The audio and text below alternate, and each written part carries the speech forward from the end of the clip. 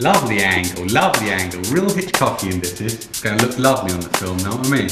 And action on my word, alright? And action. I, I think it really sucks. The guy owes me 60 bucks for a frame job I did for him.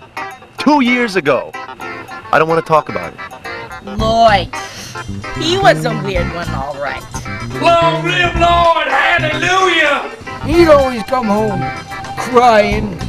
Gosh, he was he was such a sissy. What we have here is just another disillusioned artist willing to swap his life for fame. That's it.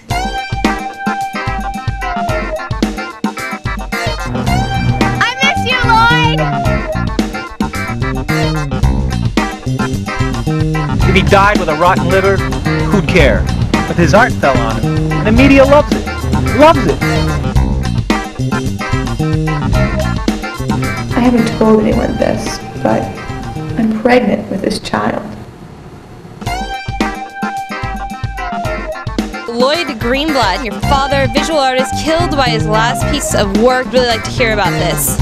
I am on my own mission, and as he was, and I can't. If I pay attention to that, I'm, I'm, I'm, I'm almost defecating on his mission, which is, which is over.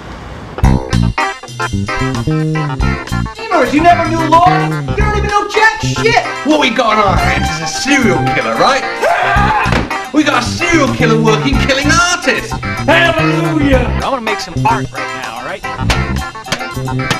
If I died tomorrow, you would eat this. I'd love to hear the demented reasoning he has for this worthless, tasteless rubbish. They're all like this in the art world. I lost my train of thought there. Okay, Sorry. that's cool.